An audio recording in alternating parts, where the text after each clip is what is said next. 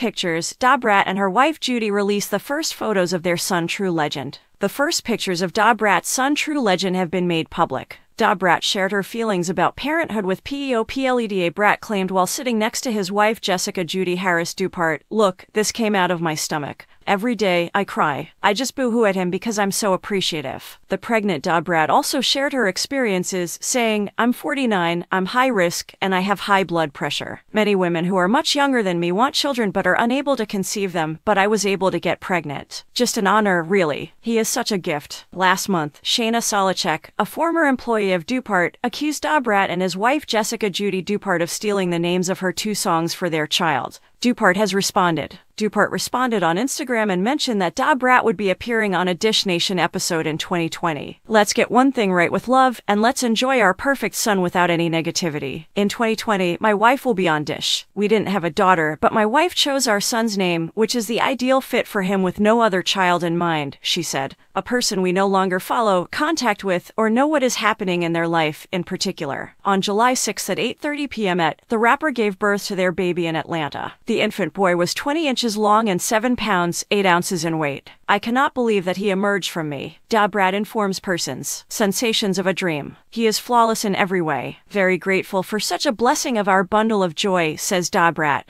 We never could have guessed how fantastic this journey would be. He had been known as true legend Harris Dupart, but after meeting him, Harris Dupart explains, we are tempted to name him perfect.